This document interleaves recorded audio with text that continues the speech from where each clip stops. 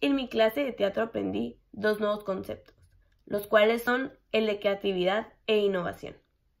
Aprendí que creatividad es la capacidad de generar nuevas ideas o conceptos base nuestra imaginación, es decir, desde cero. Nosotros creamos conceptos o nuevas ideas base lo que nosotros nos imaginamos, base algo que nosotros no tenemos, sin ninguna base.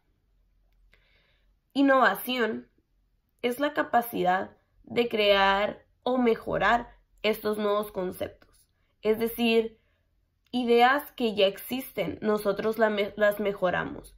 Ideas que ya se implementan actualmente en la sociedad, las mejoramos.